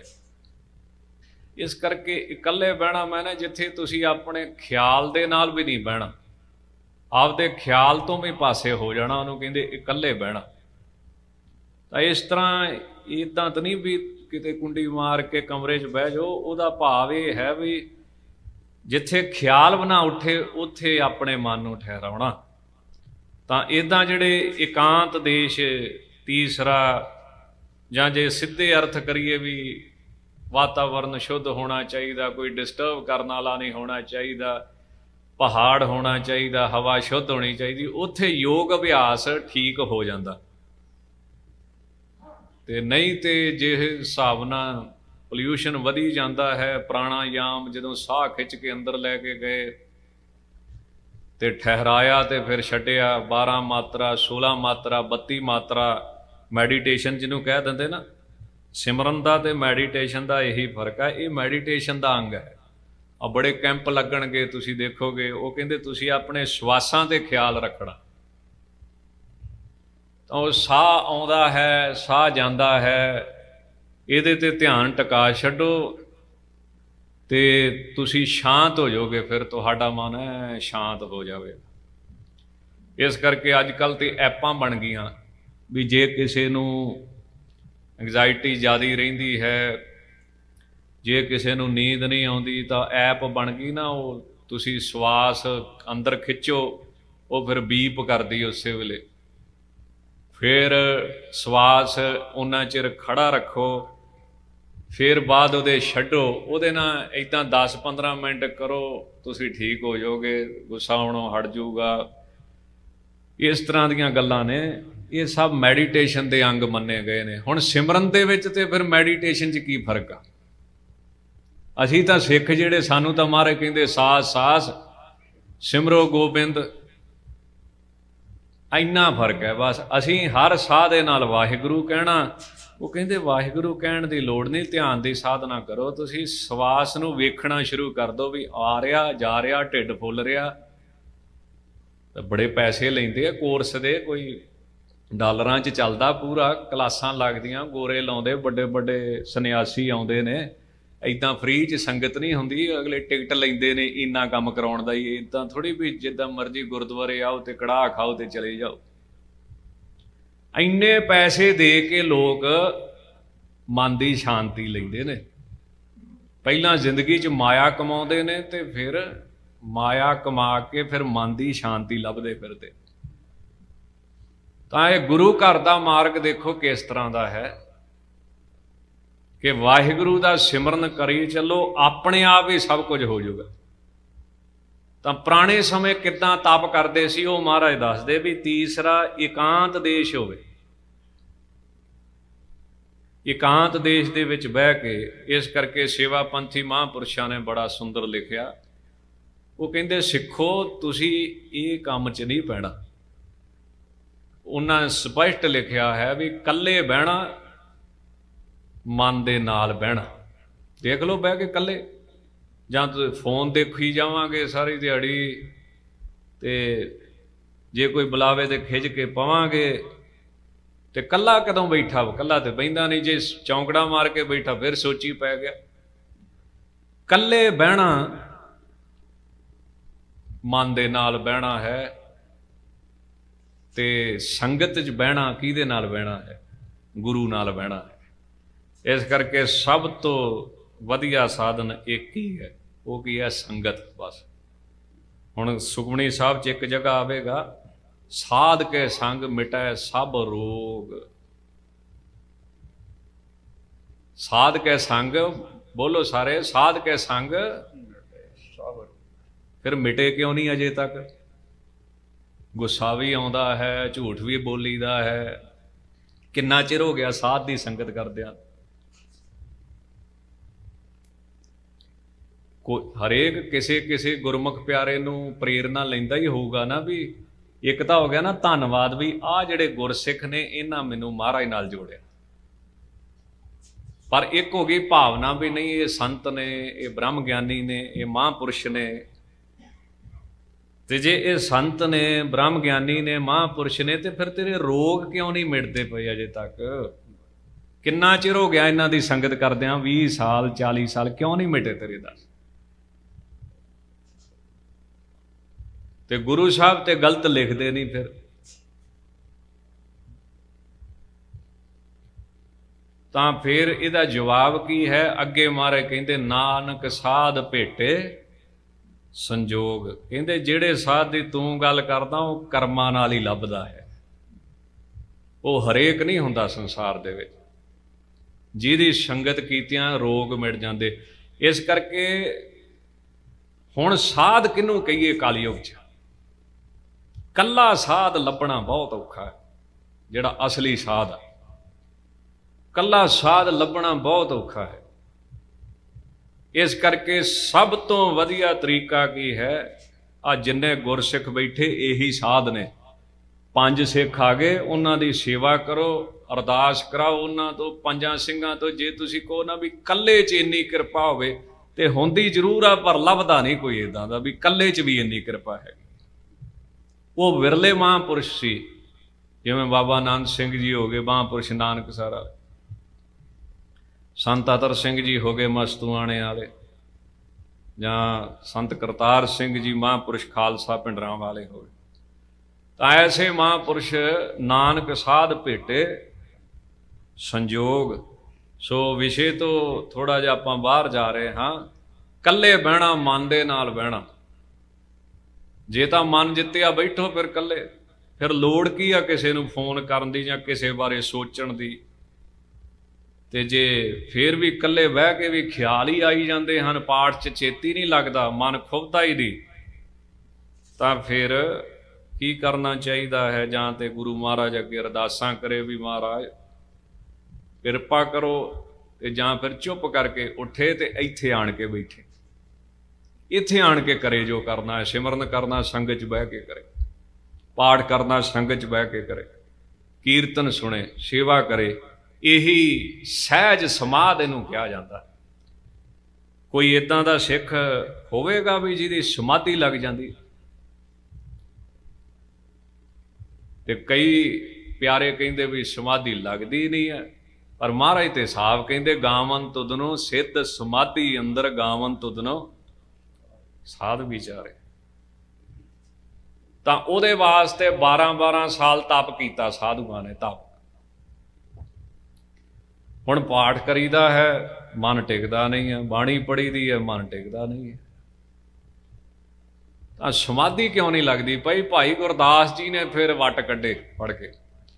ਉਹ ਕਹਿੰਦੇ, ਸਮਾਧੀ ਤੂੰ ਇੱਕ ਦੀ ਗੱਲ ਕਰਦਾ, ਇੱਥੇ ਜੇ ਆ ਜਿੰਨਾ ਦਰਬਾਰ ਆ ਨਾ 2000 ਬੰਦਾ ਬਹਿ ਜੇ 2000 ਦੀ ਸਮਾਧੀ ਲਵਾ ਦਾਂਗੇ, ਉਹ ਵੀ 1 ਮਿੰਟ 'ਚ। ਇੰਨੀ ਤਾਕਤ ਆ ਗੁਰੂ ਘਰ 'ਚ। ਕਹਿੰਦੇ ਜੀ ਕਿਵੇਂ? ਕਹਿੰਦੇ, ਸਾਧ ਸੰਗਤ ਜਦੋਂ ਬਹਿ ਕੇ ਤੂੰ ਕੀਰਤਨ ਸੁਣਿਆ ਨਾ, ਤੇ ਕੀਰਤਨ ਦੇ ਵਿੱਚੋਂ ਤੈਨੂੰ ਸਵਾਦ ਆਇਆ, ਤੇਰੀ ਸਹਿਜ ਸਮਾਦ ਆਪਣੇ ਆਪ ਲੱਗੀ ਤੈਨੂੰ ਪੁੱਠੇ ਲਮਕਣ ਦੀ ਲੋੜ ਨਹੀਂ। ਸਾਧ ਸੰਗਤ ਕੀ ਆ? ਭਾਈ ਗੁਰਦਾਸ ਜੀ ਕਹਿੰਦੇ, ਸਹਿਜ ਸਮਾਦ ਹੈ। ਸੁਤੇ ਸਿੱਧ ਮਨ ਜੁੜ ਜਾਂਦਾ ਕਥਾ 'ਚ, ਕੀਰਤਨ 'ਚ। ਇਸ ਕਰਕੇ ਤੈਨੂੰ ਫਿਰ ਦੂਸਰੀਆਂ ਸਮਾਧੀਆਂ ਦੀ ਲੋੜ ਨਹੀਂ ਪੈਂਦੀ। ਸੋ ਐਸਾ ਇਕਾਂਤ ਦੇਸ਼ ਕਿਹੜਾ ਹੈ? ਇਹ ਗੁਰਮਤ ਨੇ ਮੰਨਿਆ। ਤੀਸਰਾ ਅੰਗ ਯੋਗ ਅਭਿਆਸ ਦਾ ਕੀ ਹੈ? ਕੱਲੇ ਬਹਿਣਾ ਤੇ ਨਾਰ ਬਾਚ ਸੁਨੀ, ਨਾ ਤਹਾਂ ਬਸੰਤੇ। ਜਿੱਥੇ ਨਾ ਤੇ ਕੋਈ ਅੱਖਾਂ ਅੱਗੇ ਦਿਖੇ ਜਦੋਂ ਤਪ ਕਰਨਾ। ਤੇ ਨਾ ਹੀ ਕੰਨਾਂ 'ਚ ਕਿਸੇ ਦੀ ਆਵਾਜ਼ ਪਵੇ ਤੇ ਨਾ ਹੀ ਕਿਸੇ ਦੇ ਮੱਥੇ ਲੱਗੀਏ। ਇਹੋ ਜੇ ਕੋਠੇ 'ਚ ਵੜ ਕੇ ਜਾਂ ਪਹਾੜ ਤੇ ਬਹਿ ਕੇ ਜਾਂ ਗੁਫਾ 'ਚ ਕੰਦਰਾਂ 'ਚ ਬਹਿ ਕੇ ਐਸੀ ਜਗ੍ਹਾ ਲੱਭਣੀ ਯੋਗ ਕਰਨ ਵਾਸਤੇ ਤਪ ਕਰਨ ਵਾਸਤੇ। ਚੌਥੇ ਅੰਗ ਯੋਗ ਕਾ ਆਸਨ। ਜਿਹੜਾ ਚੌਥਾ ਅੰਗ ਹੈ ਉਹ ਹੈ ਆਸਣ ਆਸਣ ਕਹਿੰਦੇ ਚੌਂਕੜਾ ਮਾਰ ਕੇ ਬਹਿਣ ਨੂੰ। ਜਿਵੇਂ ਗੁਰੂ ਅਮਰਦਾਸ ਸਾਹਿਬ ਜੀ ਵੇਲੇ ਲੰਗਰ ਜਿਹੜਾ ਸੀ, ਉਹ ਛਕਦੇ ਸਨ ਸਾਰੇ ਪੰਗਤ 'ਚ ਬਹਿ ਕੇ। ਹੁਣ ਕਈ ਵਾਰੀ ਮਨ ਦੇ ਵਿੱਚ ਇੱਛਾ ਉੱਠਦੀ ਹੈ ਵੀ ਕੀ ਗੱਲ ਵੀ ਕੁਰਸੀ ਤੇ ਬਹਿ ਕੇ ਨਹੀਂ ਲੰਗਰ ਖਾ ਸਕਦੇ। ਕੀ ਗੱਲ ਸੋਫੇ ਤੇ ਨਹੀਂ ਖਾ ਸਕਦੇ? ਖਾ ਸਕਦੇ। ਖਾਣ 'ਚ ਕੀ ਹੈ? ਖਾਣ ਵਾਲੇ ਦੇ ਲੰਬੇ ਪੈ ਕੇ ਵੀ ਖਾਈ ਜਾਂਦੇ, ਇਹ 'ਚ ਕਿੱਡੀ ਗੱਲ ਹੈ? ਪਰ ਜਿਹੜਾ ਆਸਣ ਹੁੰਦਾ ਨਾ ਚੌਂਕੜਾ ਮਾਰ ਕੇ, ਜਿਹਨੂੰ ਅਸੀਂ ਕਹਿੰਦੇ ਸੁਖ ਆਸਣ ਇੱਕ ਤਾਂ ਨਾ ਗੁਰੂ ਗ੍ਰੰਥ ਸਾਹਿਬ ਦਾ ਸੁਖ ਆਸਣ ਆਪਾਂ ਮਹਾਰਾਜ ਦਾ ਸੁਖ ਆਸਣ ਕਰਦੇ ਅਸਲ ਸੁਖ ਆਸਣ ਕਹਿੰਦੇ ਜਿੱਦਾਂ ਜਿਹਨੂੰ ਆਪਾਂ ਸਾਰੇ ਆ ਪੁੱਠੀ ਚੌਂਕੜੀ ਨਹੀਂ ਕਹਿ ਦਿੰਦੇ ਵੀ ਇਦਾਂ ਮਾਰ ਕੇ ਬੈਠੇ ਆਪਾਂ ਸਾਰੇ, ਇਹਨੂੰ ਸੁਖ ਆਸਣ ਕਿਹਾ ਜਾਂਦਾ। ਜਦੋਂ ਕੋਈ ਸੁਖ ਆਸਣ 'ਚ ਬਹਿ ਕੇ ਪ੍ਰਸ਼ਾਦਾ ਛਕਦਾ ਤਾਂ ਉਹਦੇ ਪੇਟ ਦੀ ਜਿਹੜੀ ਜਠਰਾ ਅਗਨੀ ਆ, ਉਹ ਵੱਧ ਜਾਂਦੀ ਆ, ਜਿਹੜੀ ਅੱਗ ਹੈ, ਮਾਦਾ ਤੇਜਾਬ। ਪਤਾ ਨਹੀਂ ਹੁਣ ਇਹ ਆਪੋ ਆਪਣੀਆਂ ਦਲੀਲਾਂ ਨੇ, ਪਰ ਬੜੀ ਸੋਹਣੀ ਦਲੀਲ ਹੈ, ਕਿਉਂ ਗੁਰੂ ਘਰ ਦੇ ਨਾਲ ਜੁੜਦੀ ਹੈ। ਤਾਂ ਜਠਰਾ ਅਗਨੀ ਵੱਧ ਜਾਂਦੀ, ਸੁਖ ਆਸਣ 'ਚ ਬਹਿਣ ਲੱਗਿਆ, ਇਸ ਕਰਕੇ ਭਜਨ ਕਰਨਾ, ਸਿਮਰਨ ਕਰਨਾ, ਸੁਖ ਆਸਣ 'ਚ ਬਹਿ ਫਿਰ ਦਾਸ ਬੇਨਤੀ ਕਰੇ, ਗੁਰੂ ਗ੍ਰੰਥ ਸਾਹਿਬ ਦਾ ਸੁਖਾਸਣ ਨਹੀਂ। ਜਿੱਦਾਂ ਤੁਸੀਂ ਸਾਰੇ ਚੌਂਕੜੇ ਮਾਰ ਕੇ ਬੈਠੇ ਇਹ ਆਸਣ ਨੂੰ ਕੀ ਕਿਹਾ ਜਾਂਦਾ? ਚੌਂਕੜੀ ਨੂੰ ਕੀ ਕਿਹਾ ਜਾਂਦਾ? ਸੁਖਾਸਣ ਇਹਦੇ 'ਚ ਬਹਿ ਕੇ ਜੇ ਪ੍ਰਸ਼ਾਦਾ ਛਕਿਆ ਜਾਵੇ, ਤਾਂ ਪੇਟ ਦੀ ਜਠਰਾ ਅਗਨੀ ਵੱਧ ਜਾਂਦੀ ਇਸ ਕਰਕੇ ਰੋਗ ਤੋਂ ਬਚ ਜਾਂਦਾ ਹੈ। ਗੁਰੂ ਅਮਰਦਾਸ ਸਾਹਿਬ ਕਹਿੰਦੇ, ਸਿੱਖ ਕਹਿੰਦੇ, ਬਾਦਸ਼ਾਹ ਅਕਬਰ ਆਇਆ ਮਾਰੇ ਕਹਿੰਦੇ, ਜਾਓ ਲੰਗਰ 'ਚ ਬਿਠਾ ਕੇ ਇਹਨੂੰ ਲੰਗਰ ਛਕਾਓ। ਮੱਥਾ ਟੇਕਦੇ ਆ ਆਪਾਂ ਸਾਰੇ। ਬੰਦੇ ਨੂੰ ਅਟੈਕ ਕਦੋਂ ਹੁੰਦਾ? ਜਦੋਂ ਦਿਮਾਗ ਤੱਕ ਆਕਸੀਜਨ ਪੂਰੀ ਨਹੀਂ ਪਹੁੰਚਦੀ ਬਲੱਡ ਪਹੁੰਚਦਾ ਨਹੀਂ। ਜਦੋਂ ਕੋਈ ਮੱਥਾ ਟੇਕਦਾ ਤਾਂ ਉਹਦਾ ਬਲੱਡ ਜਿਹੜਾ ਹੈ ਉਹ ਸਿਰ ਤੱਕ ਪਹੁੰਚਦਾ ਹੈ। ਆਕਸੀਜਨ ਪਹੁੰਚਦੀ ਹੈ। ਬੰਦਾ ਥੱਕ ਜਾਂਦਾ, ਕਹਿੰਦਾ ਮੈਂ ਘੜੀ ਨੈਪ ਲੈ ਲਾਂ ਸੌਣਾ ਅੱਖ ਲਾ ਲਾਂ। ਤੇ ਜਦੋਂ ਅੱਖ ਲਾਉਂਦਾ, ਫਿਰ ਕੀ ਹੁੰਦਾ? ਲੰਬੇ ਪੈਂਦਾ, ਆਕਸੀਜਨ ਪਹੁੰਚ ਜਾਂਦੀ ਕਹਿੰਦਾ, ਬੱਲੇ ਬੱਲੇ ਵੀ। ਐ ਪੂਰਾ ਕੀ ਕਹਿੰਦੇ ਨੇ ਰੀਫਰੈਸ਼ ਹੋ ਗਿਆ। ਐਨ। ਤਰੋ ਤਾਜ਼ਾ ਹੋ ਗਿਆ। ਤਰੋ ਤਾਜ਼ਾ ਨਹੀਂ ਹੋਇਆ, ਭਰਾਵਾ, ਸਵੇਰ ਦਾ ਤੂੰ ਉੱਠਿਆ ਵਾ, ਤੁਰਿਆ ਫਿਰਦਾ, ਕੰਮ ਕਰਦਾ, ਗੱਡੀ ਚਲਾਉਣਾ, ਤੇਰੇ ਦਿਮਾਗ ਤੱਕ ਆਕਸੀਜਨ ਨਹੀਂ ਪਹੁੰਚਦੀ ਪਈ, ਤੇ ਤੂੰ ਥੱਕਦਾ ਪਿਆ ਹੈ। ਬਲੱਡ ਦੀ ਸਰਕੂਲੇਸ਼ਨ ਹੌਲੀ ਹੁੰਦੀ ਪਈ ਹੈ। ਘੜੀ ਲੰਬੇ ਪਹਿਲਾ ਆਪਣੇ ਆਪ ਆਕਸੀਜਨ ਦਾ ਲੈਵਲ ਪੂਰਾ ਹੋ ਜਾਊਗਾ ਤੇ ਤੂੰ ਠੀਕ ਹੋ ਜਾਏਗਾ। ਹੁਣ ਜਦੋਂ ਤੁਸੀਂ ਸਿਰ ਝੁਕਾ ਕੇ ਮੱਥਾ ਟੇਕਦੇ ਨਾ ਮਹਾਰਾਜ ਨੂੰ ਝੁਕ ਕੇ, ਆਕਸੀਜਨ ਵੀ ਪਹੁੰਚਦੀ ਤੇ ਬਲੱਡ ਵੀ ਪਹੁੰਚਦਾ। ਜੇ ਧਰਮ ਦੀ ਸਾਇੰਟਿਫਿਕ ਵਿਆਖਿਆ ਕੀਤੀ ਜਾਵੇ ਤੇ ਮੱਥਾ ਟੇਕਣ 'ਚ ਵੀ ਬੜਾ ਲਾਭ ਹੈ। ਜੇ ਇਦਾਂ ਦੇ ਸੱਜਣ ਵੀ ਹੈਗੇ ਵੀ ਐਵੇਂ ਸਿਰ ਝੁਕਾਈ ਜਾਂਦੇ ਹੋ ਤੇ ਜੇ ਦੂਸਰੇ ਪਾਸੇ ਸਾਇੰਸ ਦੇ ਮੁਤਾਬਕ ਦੇਖੀਏ ਤੇ ਸਿਰ ਝੁਕਾਉਣ 'ਚ ਵੀ ਲਾਭ ਹੈ ਜਦੋਂ ਅਸੀਂ ਆਪਣੇ ਗੁਰੂ ਨੂੰ ਸਿਰ ਝੁਕਾ ਦਿੰਦੇ ਹਾਂ। ਤਾਂ ਆਸਣ ਕਹਿੰਦੇ ਚੌਂਕੜਾ ਮਾਰ ਕੇ ਬਹਿਣ ਇਹ ਵੀ ਬੜੇ ਤਰ੍ਹਾਂ ਦੇ ਮੰਨੇ ਗਏ ਨੇ। 84 ਲੱਖ ਆਸਣ ਨੇ, ਉਹਨਾਂ ਚੋਂ 84 ਪ੍ਰਮੁੱਖ ਨੇ। ਪ੍ਰਮੁੱਖ ਵਿੱਚੋਂ ਸਿੱਧ ਪ੍ਰਮੁੱਖ ਹੈ, ਪਦਮ ਪ੍ਰਮੁੱਖ ਹੈ। ਪਦਮ ਆਸਣ ਲਾ ਕੇ ਬਹਿਣਾ। ਪਹਿਲਾਂ ਗੁਰੂ ਘਰ 'ਚ ਬੈਠਣ ਦੀ ਅਕਲ ਆਉਣੀ ਚਾਹੀਦੀ ਹੈ। ਬਹਿਣਾ ਤੇ ਬੈਠਣ ਵਾਸਤੇ ਆਸਣ ਜਿਹੜਾ ਹੈ ਉਹ ਜ਼ਰੂਰੀ ਹੈ। ਇਸ ਕਰਕੇ ਮਹਾਂਪੁਰਸ਼ ਕਹਿੰਦੇ ਪੁਰਾਣੇ, ਪਹਿਲਾਂ ਕੁਝ ਬਣਾ ਸਿੱਖ, ਪਹਿਲਾਂ ਸੰਗਤ 'ਚ ਬਹਿਣਾ ਹੀ ਸਿੱਖ ਲਾ ਜਾ ਕੇ। ਬੱਚਿਆਂ ਨੂੰ ਪਹਿਲਾਂ ਸੰਗਤ 'ਚ ਬੈਠਣਾ ਹੀ ਸਿਖਾ ਦਿਓ, ਇੰਨਾ ਹੀ ਬੜਾ। ਤਾਂ ਆਸਣ ਲਾ ਕੇ ਬਹਿਣਾ। ਚੌਥਾ ਅੰਗ ਯੋਗ ਯੋਗ ਦਾ ਕੀ ਹੈ? ਆਸਣ ਸਾਜਣਾ ਫਿਰ ਥੱਕਣਾ ਨਹੀਂ। ਜੇ ਆਸਣ ਸਹੀ ਲੱਗ ਜੇ ਨਾ, ਫਿਰ ਜਿੰਨੇ ਮਰਜ਼ੀ ਘੰਟੇ ਬੈਠਾ ਰਵੇ। ਆਸਣ ਲਾਉਣਾ ਸਿੱਖਣਾ ਚਾਹੀਦਾ ਹੈ। ਤੇ ਜੇ ਆਸਣ ਸਹੀ ਨਹੀਂ ਲੱਗਾ, ਫਿਰ ਲੱਤਾਂ ਵੀ ਸੌਣਗੀਆਂ ਪਿੱਠ ਵੀ ਦੁਖੇਗੀ। ਤਾਂ ਇਸ ਤਰ੍ਹਾਂ ਆਸਣ ਜਿਹੜਾ ਹੈ, ਉਹ ਸਾਧ ਲੈਣਾ ਚਾਹੀਦਾ ਹੈ। ਥੋੜਾ ਕੁ ਚਿਰ ਜ਼ੋਰ ਲੱਗਦਾ ਹੈ। ਬਾਅਦ ਗੁਰੂ ਦੀ ਕਿਰਪਾ ਨਾਲ ਆਸਣ ਲੱਗਣ ਲੱਗ ਪੈਂਦੇ ਚੌਂਕੜੇ ਜਿਹੜੇ ਹਨ ਉਹ ਲੱਗਣ ਲੱਗ ਪੈਂਦੇ ਹਨ। ਵੇਦ ਜੋਗੀਸ਼ਰ ਕਰਹੀ ਭਾਸ਼ਣ। ਵੇਦ ਜੋਗੀਆਂ ਦੇ ਈਸ਼ਰ ਵੱਡੇ ਜੋਗੀ ਇਸ ਗੱਲ ਦਾ ਭਾਸ਼ਣ ਕਰਦੇ ਹਨ ਉਪਦੇਸ਼ ਦਿੰਦੇ ਹਨ। ਜੇਤੇ ਜੀਵ ਜਗਤ ਮਹਿ ਜਾਣੋ। ਜਿੰਨੇ ਜੀਵ ਨੇ ਸੰਸਾਰ ਦੇ ਵਿੱਚ ਆਸਨ ਤੇ ਤੇ ਹੀ ਪਰਮਾਨੁ। ਤਾਂ ਜਿੰਨੇ ਜੀਵ ਨੇ ਉਨੀਆਂ ਹੀ ਉਹਨਾਂ ਦੀਆਂ ਬੈਠਕਾਂ ਨੇ। ਸ਼ੇਰ ਆਪਣੇ ਹਿਸਾਬ ਨਾਲ ਬੈਠਦਾ ਹੈ, ਪਸ਼ੂ ਪੰਛੀ ਆਪਣੇ ਹਿਸਾਬ ਨਾਲ ਬੈਠਦੇ ਹਨ। ਇਸ ਕਰਕੇ ਜਿਵੇਂ ਅੰਮ੍ਰਿਤ ਛਕਾਉਣ ਲੱਗਿਆਂ ਸਿੰਘ ਆਸਣ ਆਦਿਕ ਲਾਏ ਜਾਂਦੇ ਹਨ। ਤਾਂ ਦੇਖੋ ਕਿੱਡੀ ਵੱਡੀ ਕਲਗੀਧਰ ਦੀ ਥਿਊਰੀ ਹੋਵੇਗੀ ਫਿਲਾਸਫੀ ਹੋਵੇਗੀ। ਅੰਮ੍ਰਿਤ ਛਕਾਉਣ ਲੱਗਿਆਂ ਜਿਹੜਾ ਸਿੰਘ ਅੰਮ੍ਰਿਤ ਛਕਾਉਂਦਾ, ਪੰਜਾਂ ਪਿਆਰਿਆਂ ਲਾ ਕੇ ਬਾਣੀ ਪੜਦਾ ਉਹਦਾ ਆਸਣ ਵੀ ਸੂਰਬੀਰਾਂ ਵਾਲਾ ਹੋਣਾ ਚਾਹੀਦਾ। ਕਈ ਮਹਾਂਪੁਰਸ਼ ਬੜੇ ਪ੍ਰੇਮ ਨਾਲ ਸ਼ਾਇਦ ਆਪ ਜੀ ਦੇ ਧਿਆਨ ਚ ਦਾਸ ਗੱਲ ਲਿਆਵੇ, ਪਰ ਸੁਣੀ ਹੈ ਕੱਲ ਨੂੰ ਕੋਈ ਇਹ ਸੱਜਣ ਨਾ ਕਵੇ ਵੀ ਨਹੀਂ ਇਦਾਂ ਨਹੀਂ ਹੋਇਆ। ਜੇ ਕੋਈ ਇਸ ਤਰ੍ਹਾਂ ਆਸਣ ਲਾਵੇ, ਵੀਰ ਆਸਣ ਜਿਹਨੂੰ ਅਸੀਂ ਕਹਿ ਦਿੰਦੇ ਹਾਂ, ਤਾਂ ਕਹਿੰਦੇ ਉਹ ਵਕਾਰ ਨੂੰ ਜਿੱਤ ਲੈਂਦਾ ਹੈ। ਮੰਨ ਲਓ ਤੁਸੀਂ ਰਹਿਰਾ ਸਾਹਿਬ ਦਾ ਪਾਠ ਕਰਦੇ ਵੀਰ ਆਸਣ 'ਚ ਬਹਿ ਕੇ ਕਰੇ ਕੋਈ। ਇਦਾਂ ਸਾਧੂ ਲੋਕ ਮਹਾਂਪੁਰਸ਼ ਖਾਲਸੇ ਤੇ ਜਿਨ੍ਹਾਂ ਦੀ ਸ਼ਰਧਾ ਹੈ, ਤੇ ਵੀਰ ਆਸਣ ਲਾਉਣਾ ਕਿਸੇ ਦੇ ਵੱਸ ਦੀ ਗੱਲ ਨਹੀਂ ਆ ਹੌਲੀ ਹੌਲੀ ਵਾਧਾ ਹੈ ਰੋਜ਼ ਅਭਿਆਸ ਦੇ ਨਾਲ। ਤੇ ਵੀਰ ਆਸਣ 'ਚ ਬਾਣੀ ਪੜ੍ਹਨੀ, ਪੰਜ ਬਾਣੀਆਂ, ਪੰਜ ਪਿਆਰੇ, ਉਹ ਵੀ ਵੱਖੋ ਵੱਖਰੀਆਂ ਪੜ੍ਹਦੇ ਨੇ। ਤੇ ਜੇ ਕੋਈ ਕੱਲਾ ਗੁਰਮੁਖ ਇਦਾਂ ਅਭਿਆਸ ਕਰਕੇ ਵੀਰ ਆਸਣ 'ਚ ਬਾਣੀ ਪੜ੍ਹੇ ਤਾਂ ਫਿਰ ਇਸ ਤਰ੍ਹਾਂ ਦੱਸਦੇ ਨੇ ਤਾਂ ਹੁਣ ਜਿਹੜੇ ਗੁਰਮੁਖ ਕਰਦੇ ਉਹਨਾਂ ਨੂੰ ਪਤਾ ਹੋਵੇਗਾ। ਤਾਂ ਜਿਹੜਾ ਵੀਰ ਆਸਣ 'ਚ ਬਾਣੀ ਪੜਨ ਲੱਗ ਪੈਂਦਾ ਹੈ, ਰਹਿਰਾ ਸਾਹਿਬ ਦਾ ਪਾਠ ਕਰਨ ਲੱਗ ਪੈਂਦਾ ਹੈ। ਪੁਰਾਣੇ ਤੁਸੀਂ ਕਿਤੇ ਗੁਰਮੁਖ ਪਿਆਰੇ ਹੁਕਮਨਾਮਾ ਲੈਂਦੇ ਦੇਖੋ, ਵੀਰ ਆਸਣ 'ਚ ਹੁਕਮਨਾਮਾ ਲੈ ਲੈਂਦੇ ਮਹਾਰਾਜ। ਆਸਣ ਤਾਂ ਕੋਈ ਵੀ ਮਾੜਾ ਨਹੀਂ। ਪਰ ਆ ਜਿਸ ਆਸਣ 'ਚ ਆਪਾਂ ਸਾਰੇ ਬੈਠੇ ਇਹ ਸੁੱਖ ਦਾ ਆਸਣ ਆ ਬਈ ਚਲੋ ਆਰਾਮ ਦੇ ਨਾਲ ਬਹਿ ਗਏ ਤਾਂ ਆਸਣ ਜਿਹੜੇ ਨੇ ਬੇਅੰਤੀ ਨੇ। ਸ਼ੇਰ ਵਾਲਾ ਆਸਣ ਹੈ ਸਿੰਘ ਆਸਣ ਹੈ ਵੀਰ ਆਸਣ ਹੈ ਪਦਮ ਆਸਣ ਹੈ। ਤਾਂ ਜਿੰਨੇ ਜੀਵ ਨੇ ਉਨੇ ਹੀ ਆਸਣ ਹਨ। ਤਿਨ ਤੇ ਜੁਗਮ ਸ਼ਰੋਮਣ ਬਿਨੇ। ਇਹਨਾਂ ਵਿੱਚੋਂ ਦੋ ਸ਼੍ਰੋਮਣੀ ਜੋਗੀਆਂ ਨੇ ਚੁਣੇ ਨੇ। ਤੇ ਖਾਲਸੇ ਨੇ ਕਿਹੜਾ ਚੁੜਿਆ ਹੈ? ਵੀਰ ਆਸਣ ਸੂਰਮੇ ਦਾ ਆਸਣ ਸੰਤ ਸਿਪਾਈ ਬਣਾਏ ਨੇ। ਇੱਥੇ ਯੋਗੀਆਂ ਦੀ ਗੱਲ ਚੱਲਦੀ ਪਈ ਕੋਈ ਸੱਜਣ ਭਲੇਖਾ ਰੱਖਾਵੇ। ਯੋਗੀਆਂ ਨੇ ਫਿਰ ਦੋ ਚੁਣ ਲਏ ਇਹਨਾਂ ਵਿੱਚੋਂ। ਮਹਾਪੁਰਖ ਹਿਤ ਕਰ ਸੋ ਲੈਨੇ ਮਹਾਂਪੁਰਖਾਂ ਨੇ ਇਹ ਪ੍ਰੇਮ ਦੇ ਨਾਲ ਲਏ ਹਨ ਸਿੱਧ ਆਸਣ ਪਦਮਾਸਣ ਦੋ। ਕਿਹੜੇ ਆਸਣ ਨੇ? ਸਿੱਧ ਆਸਣ ਤੇ ਪਦਮ ਆਸਣ। ਮਹਾਤਮਾ ਬੁੱਧ ਦਾ ਤੁਸੀਂ ਕਿਤੇ ਸਰੂਪ ਦੇਖੋ, ਉਹ ਚੌਂਕੜੇ 'ਚ ਬੈਠੇ ਹੋਣਗੇ। ਤੇ ਸਾਡੇ ਸਿੱਖਾਂ ਨੇ ਵੀ ਬੜੇ ਪ੍ਰੇਮ ਦੇ ਨਾਲ ਉਹ ਸਰੂਪ ਦੇਖਿਆ ਹੋਊਗਾ, ਕਿਉਂ ਖੋਜੀ ਸੱਜਣ ਖੋਜਦੇ ਹਨ।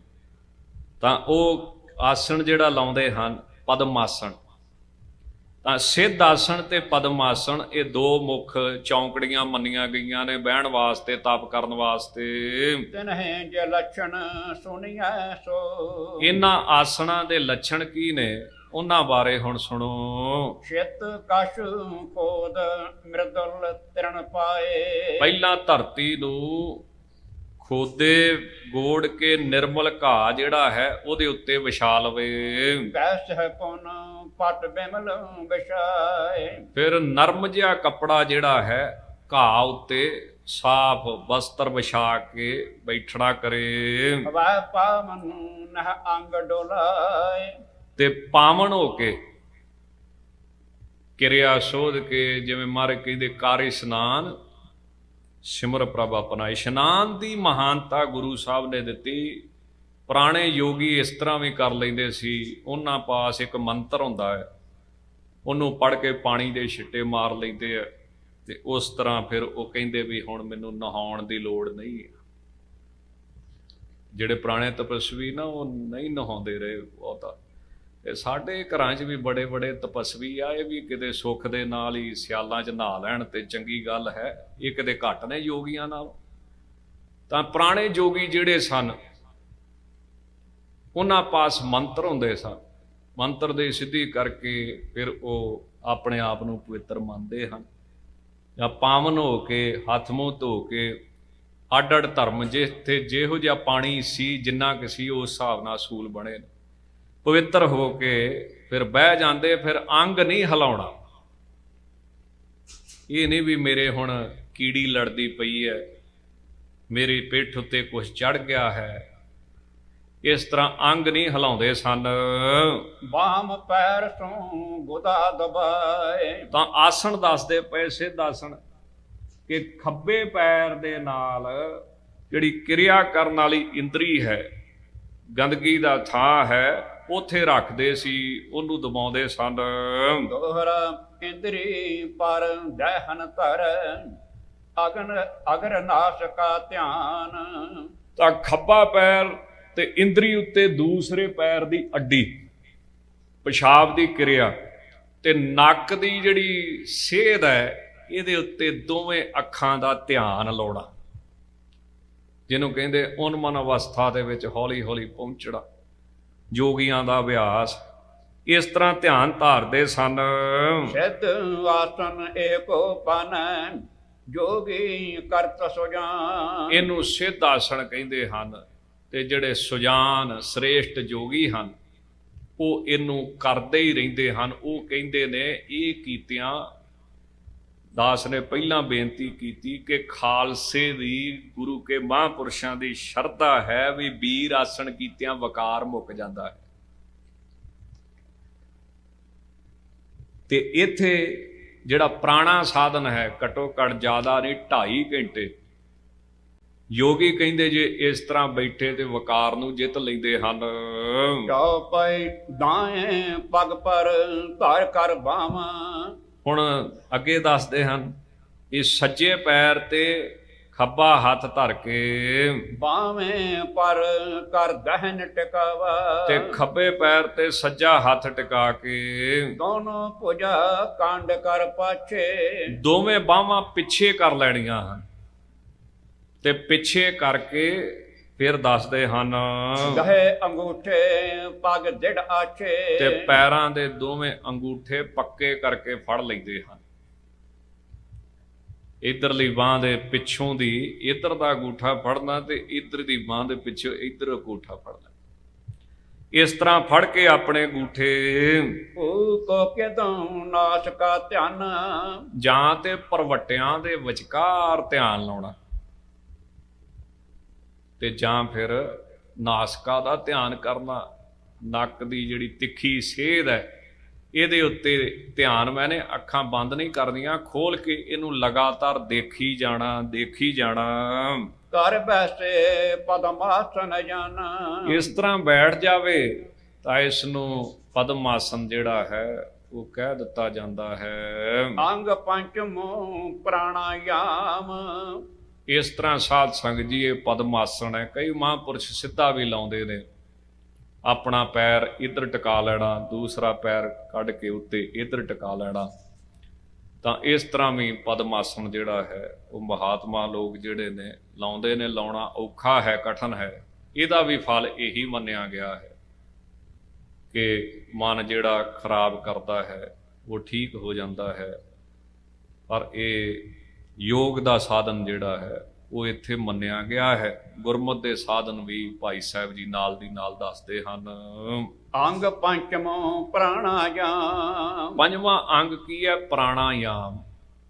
ਇਹਦੇ ਬਾਰੇ ਵਿਸਥਾਰ ਸਹਿਤ ਦੱਸਦੇ ਨੇ। ਅੱਜ ਵੀ ਇਹ ਬਹੁਤ ਚੱਲਦਾ ਹੈ ਬਾਕੀ ਨਹੀਂ ਚੱਲਦੇ ਹੁਣ।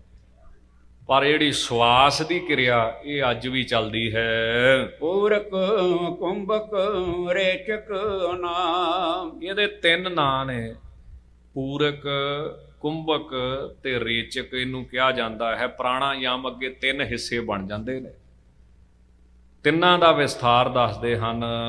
ਬਾਹਰ ਤੇ ਮਨ ਸੁਰਤ ਟਿਕਾਵੇ। ਬਾਹਰ ਤੋਂ ਮਨ ਨੂੰ ਰੋਕ ਕੇ ਅੰਤਰਮੁਖ ਕਰਕੇ ਦਹਨੇ ਸੁਰਤੇ ਪ੍ਰਾਣ ਚੜਾਵੇ। ਜਿਹੜਾ ਨੱਕ ਦਾ ਸੱਜਾ ਛੇਕ ਹੈ ਇਹਦੇ ਥਾਣੀ ਸਵਾਸ ਨੂੰ ਖਿੱਚੇ ਤਾਂ ਨੂੰ ਮੱਥੇ ਵੱਲ ਚੜਾਵੇ ਇਸ ਨੂੰ ਚਾਂਚਤ ਦਵਾਦਸ਼ ਮਾਤਰ ਹੈ ਜੋਏ। ਤੇ ਫਿਰ 12 ਵਾਰ 12 ਮਾਤਰਾ ਇਹਨੂੰ ਜਿਹੜਾ ਹੈ ਉਹ ਆਪਣੇ ਵੱਲ ਖਿੱਚੇ।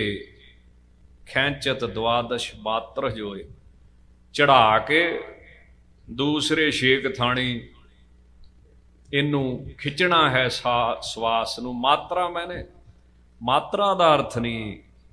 ਬਹੁਤ ਔਖਾ ਅਰਥ ਹੈ ਮਾਤਰਾ ਦਾ ਵੀ। ਕਿੰਨੇ ਵਰੀ ਤਾਂ ਕਿਸੇ ਮਹਾਤਮਾ ਨੇ ਬੜਾ ਸੁੰਦਰ ਅਰਥ ਕੀਤਾ। ਮਾਤਰਾ ਮੈਨੇ ਚੁਟਕੀ।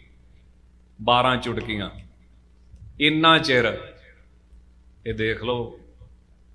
ਕਈ ਅਰਥ ਜਿਹੜੇ ਨੇ ਸੰਪਰਦਾ ਚੋਂ ਮਿਲਦੇ, ਗ੍ਰੰਥਾਂ ਚੋਂ ਨਹੀਂ ਮਿਲਦੇ। ਹੁਣ ਇੱਥੇ ਵੀ ਦੇਖ ਲਓ, ਕਿੱਡੇ ਵੱਡੇ ਮਹਾਂਪੁਰਸ਼ ਵਿਦਵਾਨ ਨੇ ਟੀਕਾ ਕੀਤਾ ਹੈ। ਪਰ ਕਈ ਗੱਲਾਂ ਜਿਹੜੀਆਂ ਨੇ, ਉਹ ਨਹੀਂ ਲੱਭਦੀਆਂ ਗ੍ਰੰਥਾਂ ਦੇ ਵਿੱਚੋਂ। ਉਹ ਜਿਹੜੇ ਕਰਦੇ ਨੇ, ਉਹਨਾਂ ਨੂੰ ਪੁੱਛ ਲਵੇ ਤੇ ਫਿਰ ਪਤਾ ਲੱਗਦਾ। ਤਾਂ 12 ਮਾਤਰਾ ਜਿਹੜੀਆਂ ਹਨ 12 ਵਾਰ ਕਹਿ ਲੋ ਸੌਖਾ ਜਿਹਾ ਹੈ, ਪਰ ਮਾਤਰਾ ਭਾਵ ਜਿੰਨੇ ਚਿਰ ਚ ਇੱਕ ਚੁਟਕੀ ਵੱਜਦੀ, ਕਿੰਨਾ ਕੁ ਟਾਈਮ ਹੋਊਗਾ ਇਹ? ਇੰਨੀ ਵਾਰ ਫਿਰ ਉਹਨੂੰ ਸਾਹ ਨੂੰ ਰੋਕ ਕੇ ਵਾਹਿਗੁਰੂ ਦਾ ਨਾਮ ਜਪੇ, ਓੰਕਾਰ ਓੰਕਾਰ ਕਰਦਾ ਰਵੇ। ਇਸ ਤਰ੍ਹਾਂ ਦੱਸਦੇ ਹਨ। ਓ ਆੰਕਾਰ ਜਪੈ ਤਬ ਸੋਏ। ਤਾਂ ਫਿਰ ਓੰਕਾਰ ਦਾ ਨਾਮ ਜਪੇ। ਜਿਤੇ ਪ੍ਰਾਣ ਅੰਤਰ ਠਹਿਰਾਵੇ। ਜਿੰਨੇ ਪ੍ਰਾਣ ਜਿੰਨੀਆਂ ਮਾਤਰਾਵਾਂ ਜਿੰਨਾ ਚਿਰ ਆਪਣੇ ਅੰਦਰ ਸਵਾਸ ਰੋਕੇ। ਕੁੰਭਕ ਤੇ ਤੋ ਨਾਮ ਕਹਾਵੇ। ਜਿੰਨਾ ਚਿਰ ਆਪਣੇ ਮੱਥੇ 'ਚ ਸਵਾਸ ਰੋਕ ਰੱਖਣਾ ਜਾਂ ਨੱਕ 'ਚ ਸਵਾਸ ਰੋਕ ਰੱਖਣਾ ਨਿਕਲ ਨਹੀਂ ਦੇਣਾ ਉਹਨੂੰ ਕੁੰਭਕ ਕਿਹਾ ਜਾਂਦਾ ਹੈ। ਜਾਉ ਬਿਸ ਮਾਤਰਾ ਓ ਆੰਕਾਰ ਤਾਂ ਫਿਰ ਦੱਸਦੇ ਹਨ ਵੀ 24 ਮਾਤਰਾ ਓੰਕਾਰਾ 24 ਮਾਤਰਾ ਓੰਕਾਰ ਦਾ ਜਾਪ ਉਚਾਰਨ ਕਰੇ। ਜਾਪ ਕਰੈ ਤੇ ਸਮੈ ਉਚਾਰ। ਤੇ ਉਸ ਟਾਈਮ ਦੇ ਵਿੱਚ ਇਹਦਾ ਉਚਾਰਨ ਕਰੇ ਇਨਾ ਬਾਵੇਂ ਸੁਰ ਸੋਂ ਕਰੇ ਉਤਾਰ। ਜਦੋਂ 24 ਮਾਤਰਾ ਓੰਕਾਰ ਦਾ ਜਾਪ ਕਰ ਲਿਆ ਇੰਨਾ ਟਾਈਮ ਓੰਕਾਰ ਓੰਕਾਰ ਓੰਕਾਰ ਸਵਾਸ ਰੋਕ ਕੇ ਕਰੀ ਗਿਆ ਕਰੀ ਗਿਆ ਕਰੀ ਗਿਆ। ਫਿਰ ਕੀ ਹੋਵੇਗਾ? ਤਾਂ ਜਦੋਂ ਇੰਨਾ ਚਿਰ ਰੋਕ ਲਿਆ ਤੇ ਫਿਰ ਥੱਲੇ ਸਵਾਸ ਜਿਹੜਾ ਸੀ, ਇੰਨੇ ਚਿਰ ਨੂੰ ਰੋਕਣ ਨੂੰ ਕੁੰਭਕ ਤੇ ਤੋਂ ਨਾਮ ਕਹਾਵੇ, ਇਹਨੂੰ ਕੁੰਭਕ ਕਿਹਾ ਜਾਂਦਾ ਹੈ। ਦਵਾਦਸ਼ ਮਾਤਰਾ ਜਪ ਓੰਕਾਰ ਤਾਂ ਫਿਰ 12 ਮਾਤਰਾ ਓੰਕਾਰ ਦਾ ਜਾਪ ਕਰੇ। ਰੇ ਚਕ ਜਾ ਕੋ ਨਾਮ ਕਹੀ ਜੈ। ਇਸ ਨੂੰ ਜਦੋਂ ਸਵਾਸ ਕੱਢ ਦੇਣਾ ਹੈ ਬਾਹਰ ਇਹਨੂੰ ਰੇਚਕ ਕਿਹਾ ਜਾਂਦਾ ਹੈ। ਸਨੈ ਸਨੈ ਜੋ ਛੋਡਨ ਕੇ ਜੈ। ਜਿਹੜਾ ਹੌਲੀ ਹੌਲੀ ਸਾਹ ਨੂੰ ਛੱਡ ਦਵੇ। ਦਾਸ ਫਿਰ ਬੇਨਤੀ ਕਰੇ ਇਹ ਅਭਿਆਸ ਹੈ ਯੋਗ ਅਭਿਆਸ। ਤੇ ਗੁਰਮਖਾਂ ਨੂੰ ਮਹਾਰਾਜ ਨੇ ਸੌਖਾ ਰਸਤਾ ਵੀ ਦੱਸਿਆ ਹੈ। ਇਹਦਾ ਵੀ ਜ਼ਿਕਰ ਗੁਰੂ ਗ੍ਰੰਥ ਸਾਹਿਬ ਚ ਆਉਂਦਾ ਹੈ। ਪਰ ਇਹਦੇ ਨਾਲੋਂ ਜਿਹੜਾ ਸੁਖੈਨ ਰਸਤਾ ਉਹ ਕੀ ਹੈ? ਜਿਨ੍ਹਾਂ ਸਾਸ ਗਿਰਾਸ ਨਾ ਵਿਸਰੈ, ਹਰ ਨਾਮਾ ਮਨ ਮੰਤ, ਧਨ ਸੇ ਸੇਈ ਨਾਨਕਾ, ਪੂਰਨ ਸੋਈ ਸੰਤ। ਹਰ ਸਵਾਸ ਦੇ ਨਾਲ ਵਾਹਿਗੁਰੂ ਵਾਹਿਗੁਰੂ ਵਾਹਿਗੁਰੂ ਵਾਹਿਗੁਰੂ। ਕਿਉਂ ਮਹਾਰਾਜ ਕਹਿੰਦੇ ਪਵਨ ਗੁਰੂ ਪਾਣੀ ਪਿਤਾ। ਤਾਂ ਜੇ ਅਸੀਂ ਯੋਗ ਅਭਿਆਸ ਅਨੁਸਾਰ ਅਰਥ ਕਰੀਏ ਤੇ ਪਵਨ ਗੁਰੂ ਕਿੱਦਾਂ ਸਾਬਤ ਹੋਇਆ? ਤਾਂ ਯੋਗੀਆਂ ਮੁਤਾਬਕ ਪਵਨ ਗੁਰੂ ਦਾ ਅਰਥ ਇਹ ਹੁੰਦਾ ਹੈ ਮੈਡੀਟੇਸ਼ਨ ਜਿਹੜੇ ਕਰਦੇ ਹਨ। ਕਿਉਂ ਸਭ ਕੁਝ ਸਵਾਸ ਤੇ ਹੀ ਹੈ। ਜੇ ਸਵਾਸ ਰੁਕ ਗਿਆ ਤਾਂ ਮਨ ਰੁਕ ਗਿਆ, ਨਹੀਂ ਰੁਕਿਆ ਤੇ ਮਨ ਰੁਕ ਨਹੀਂ ਰੁਕਿਆ, ਫਿਰ ਮੌਤ, ਕਹਿੰਦੇ ਇਹੀ ਤੇ ਕਰਾਮਾਤ ਹੈ, ਮੌਤ ਬੜੀ ਹੁੰਦੀ ਜਿਹੜੇ ਸਵਾਸ ਨੂੰ ਜਿੱਤ ਲੈਂਦੇ ਹਨ। ਹੋਰ ਬਾਹਰਲੇ ਜਾਦੂਗਰੀਆਂ ਨੇ ਵੀ ਰੁਪਈਏ ਲੈ ਕੇ ਆਇਆ ਤੇ ਉਹਦੀ ਚਾਂਦੀ ਬਣਾਤੀ। ਲੌਂਗ ਲੈਚੀਆਂ ਲੈ ਕੇ ਆਇਆ ਤੇ ਉਹਨੂੰ ਕੁਝ ਕਰਤਾ, ਇਹ ਕਰਾਮਾਤ ਨਹੀਂ। ਤਾਂ ਇਸ ਤਰ੍ਹਾਂ ਧਰਮ ਦੇ ਸਾਧਨ ਨੇ ਜੋਗੀ ਲੋਕ ਕਰਦੇ ਹੁੰਦੇ ਸਨ, ਸਾਨੂੰ ਮਹਾਰਾਜ ਨੇ ਸੌਖਾ ਰਸਤਾ ਦੱਸਿਆ ਹੈ ਪਰ ਫਿਰ ਵੀ ਸਾਡੇ ਕਰਮ ਇਹੋ ਜਿਹੇ ਨੇ ਕਿ ਵਾਹਿਗੁਰੂ ਦਾ ਨਾਮ ਜਿਹੜਾ ਹੈ, ਉਹ ਸਾਡੇ ਤੋਂ ਜਪਿਆ ਨਹੀਂ ਜਾਂਦਾ। ਗ੍ਰੰਥਾਂ ਦੇ ਵਿੱਚ ਆਉਂਦਾ ਵੀ हे ਪਰਮੇਸ਼ਰ, ਅੱਖਰ ਤੇ ਤੇਰੇ ਦੋ ਹੀ ਸੀ ਜਿਹੜਾ ਜਿਵੇਂ ਪੁਰਾਣਾ ਨਾਮ ਰਾਮ ਤੇ ਸਾਰੀ ਦਿਹਾੜੀ ਜ਼ੁਬਾਨ ਬਕ-ਬਕ ਕਰੀ ਜਾਂਦੀ ਹੈ, ਬਕ-ਬਕ ਕਰੀ ਜਾਂਦੀ ਹੈ।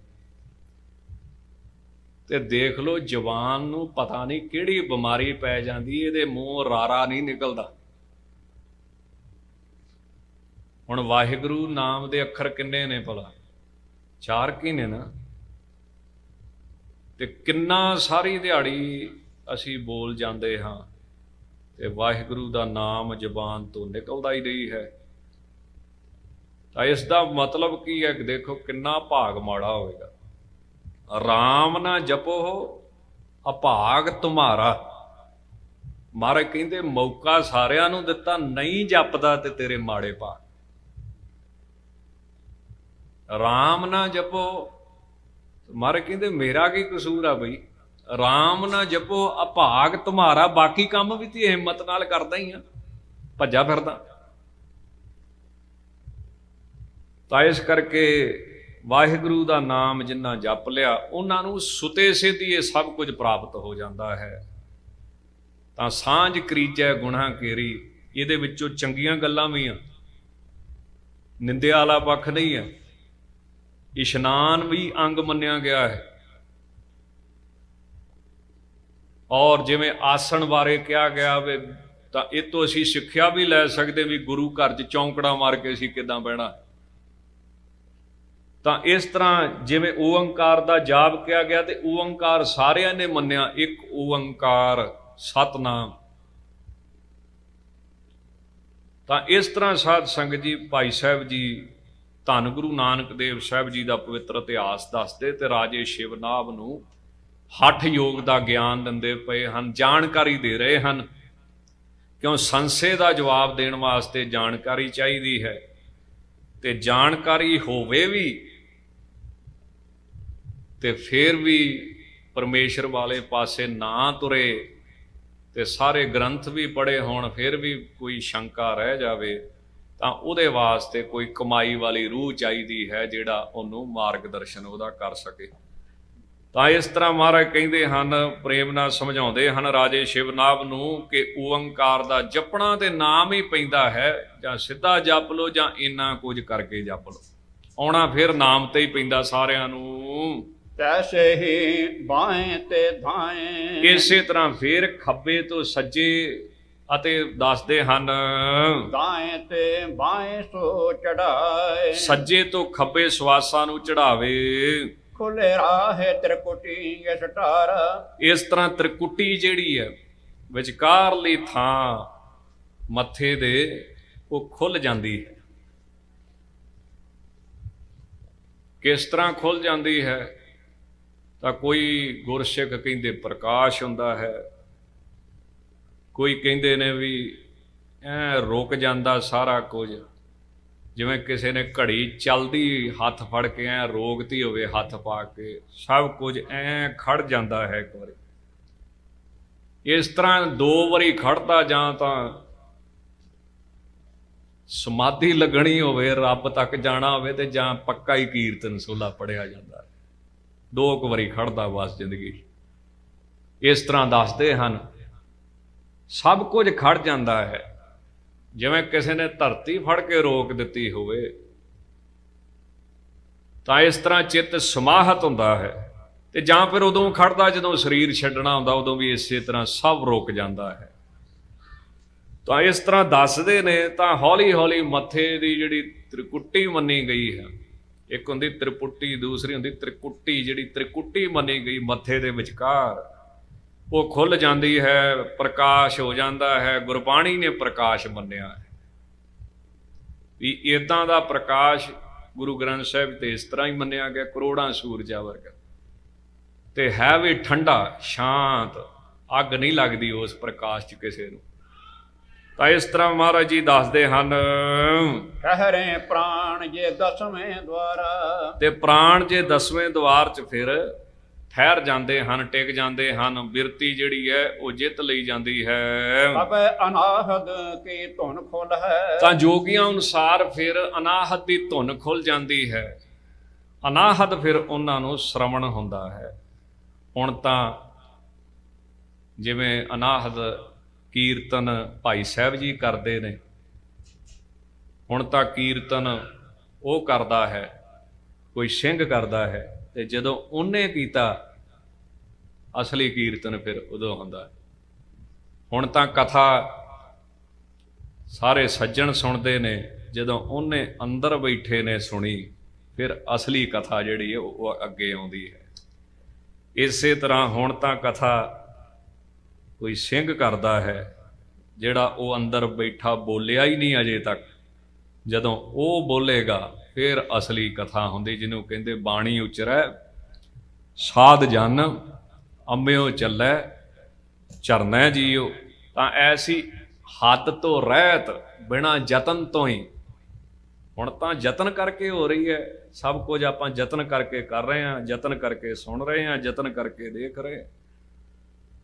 ਤਾਂ ਬਿਨਾ ਯਤਨ ਤੋਂ ਹੀ ਫਿਰ ਉਹ ਧੁਨ ਜਿਹੜੀ ਹੈ ਖੁੱਲਦੀ ਹੈ ਉਹਨਾਂ ਦੀ ਤੇ ਅਨਾਹਤ ਧੁਨ ਵੱਜਦੀ ਹੈ। ਅਨਾਹਤ ਦੇ ਬੜੇ ਅਰਥ ਨੇ ਇੱਕ ਇਹ ਵੀ ਅਰਥ ਹੈ ਵੀ ਜਦੋਂ ਆਪਣੇ ਆਪ ਹੀ ਹੋਣ ਲੱਗ ਪਏ ਸਾਰਾ ਕੁਝ।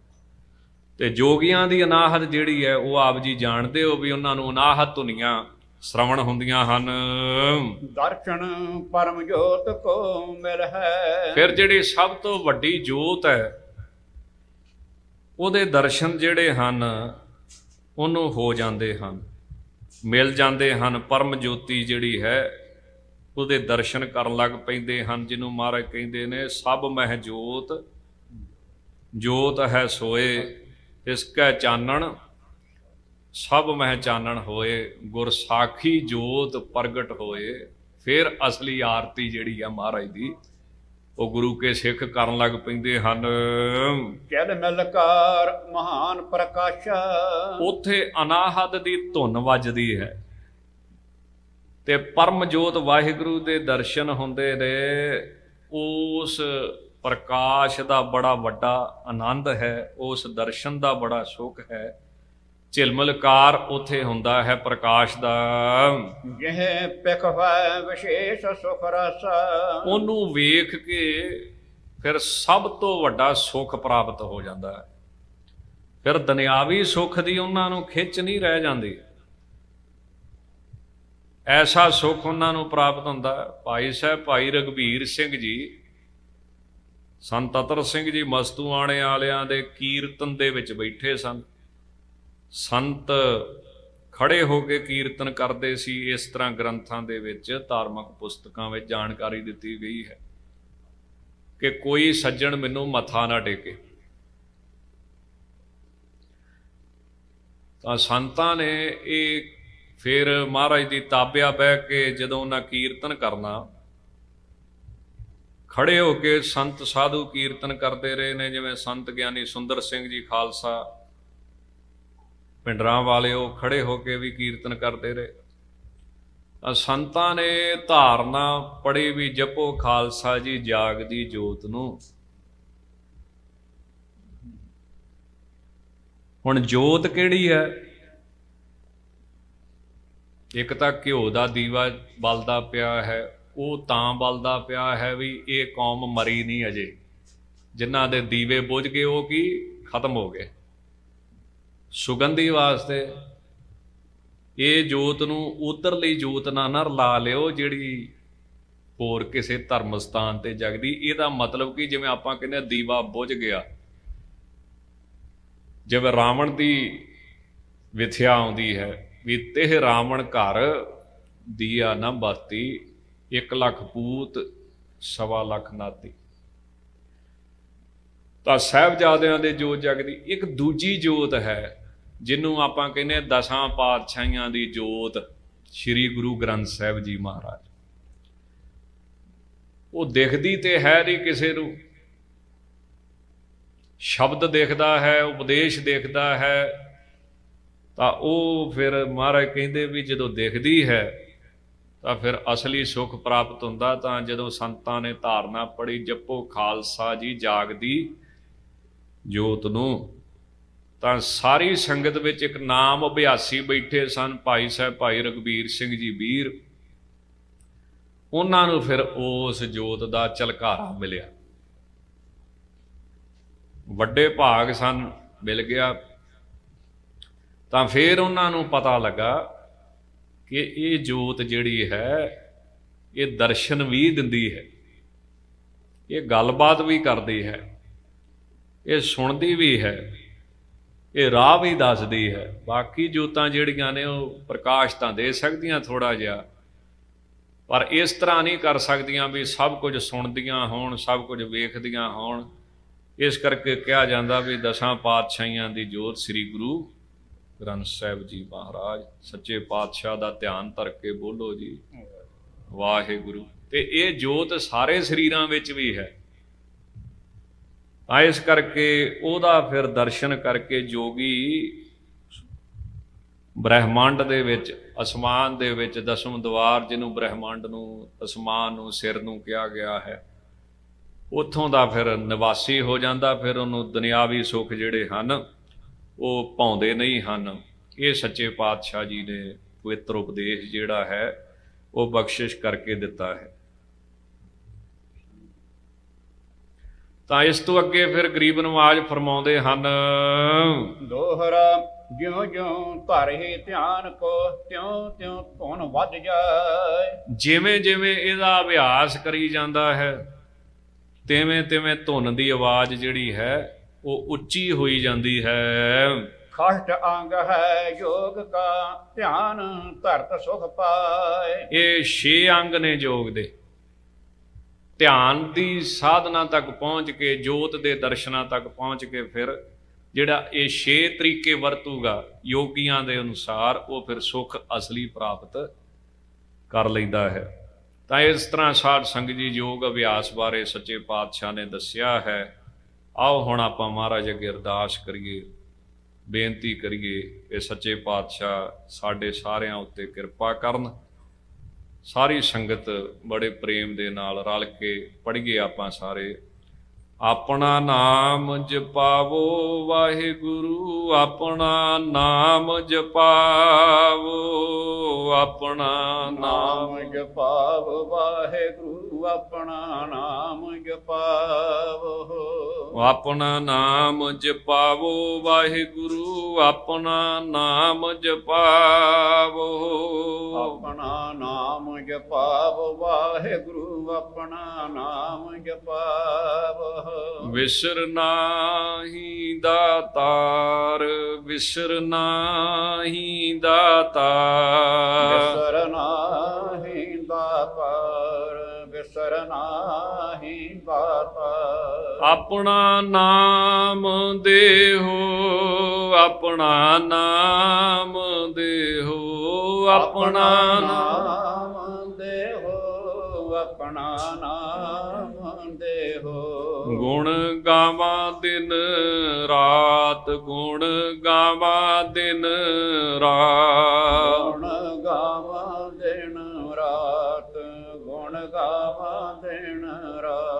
ਨਾਨਕ ਚਾਉ ਇਹੋ ਨਾਨਕ ਚਾਉ ਇਹੋ ਨਾਨਕ ਜਾਓ ਨਾਨਕ ਚਾਹੋ ਇਹੋ ਆਪਣਾ ਨਾਮ ਜਪਾਵੋ ਵਾਹਿਗੁਰੂ ਆਪਣਾ ਨਾਮ ਜਪਾਵੋ। ਆਪਣਾ ਨਾਮ ਜਪਾਵੋ ਵਾਹਿਗੁਰੂ ਆਪਣਾ ਨਾਮ ਜਪਾਵੋ। ਆਪ ਜਪਾਏ ਜਪੈ ਸੋ ਨਾਉ ਆਪ ਜਪਾਏ ਜਪੈ ਸੋ ਆਪ ਨਾਉ ਜਪਾਏ ਜਪੇ ਜਪੇ ਸੋ ਨਾਮ ਆਪ ਗਵਾਏ ਸੋ ਹਰ ਗੁਣ ਗਾਓ ਆਪ ਗਵਾਏ ਸੋ ਹਰ ਗੁਣ ਆਪ ਗਾਓ ਗਾਵਾਏ ਸੋ ਹਰ ਗੁਣ ਗਾਓ ਆਪ ਗਾਵਾਏ ਸੋ ਹਰ ਗੁਣ ਗਾਓ। ਆਪਣਾ ਨਾਮ ਜਪਾਵੋ, ਵਾਹਿਗੁਰੂ, ਆਪਣਾ ਨਾਮ ਜਪਾਵੋ, ਆਪਣਾ ਨਾਮ ਜਪਾਵੋ, ਵਾਹਿਗੁਰੂ, ਆਪਣਾ ਨਾਮ ਜਪਾਵੋ। ਸੋ ਐਸੀ ਬੇਨਤੀ ਸੱਚੇ ਪਾਤਸ਼ਾਹ ਵਾਹਿਗੁਰੂ ਅੱਗੇ। ਕਿਉਂ? ਉਪਦੇਸ਼ ਜਿਹੜਾ ਹੈ ਉਹਨਾਂ ਚਿਰ ਹਿਰਦੇ 'ਚ ਨਹੀਂ ਵਸਦਾ, ਜਿੰਨਾ ਚਿਰ ਗੁਰੂ ਮਹਾਰਾਜ ਆਪਣੀ ਕਿਸੇ ਤੇ ਕਿਰਪਾ ਨਹੀਂ ਕਰਦੇ, ਬਖਸ਼ਿਸ਼ ਨਹੀਂ ਕਰਦੇ ਸੋ ਇਸ ਤੋਂ ਅੱਗੇ ਫਿਰ ਪ੍ਰਸੰਗ ਜਿਹੜਾ ਹੈ ਉਹ ਬਦਲ ਜਾਣਾ ਹੈ। ਕੱਲ ਦੇ ਦੀਵਾਨ ਵਿੱਚ ਆਪ ਸੰਗਤਾਂ ਨੇ ਦਰਸ਼ਨ ਦੇਣ ਦੀ ਕਿਰਪਾਲਤਾ ਕਰਨੀ। ਜਿੰਨੇ ਵੀ ਸੰਗਤ ਪਹੁੰਚੀ ਹੈ ਬਹੁਤ ਬਹੁਤ ਧੰਨਵਾਦ। ਭੁੱਲ ਚੁੱਕ ਦੀ ਖਿਮਾ ਜੀ ਲੇਖੈ ਕਤੇ ਨ ਛੁਟੀ ਹੈ ਖਿਨ ਖਿਨ ਪੂਲਣ ਹਾਰ। ਬਖਸ਼ਣ ਹਾਰ ਬਖਸ਼ ਲੈ। ਨਾਨਕ ਪਾਰ ਉਤਾਰ ਜਿਉ ਜਿਉ ਧਰਹਿ ਧਿਆਨ ਕੋ ਤਿਉ ਤਿਉ ਧੁਨ ਵੱਧ ਜਾਏ। ਖਸ਼ਟ ਅੰਗ ਹੈ ਯੋਗ ਕਾ ਧਿਆਨ ਧਰਤ ਸੁਖ ਪਾਏ। ਵਾਹਿਗੁਰੂ ਜੀ ਕਾ ਖਾਲਸਾ। ਵਾਹਿਗੁਰੂ ਜੀ ਕੀ ਫਤਿਹ।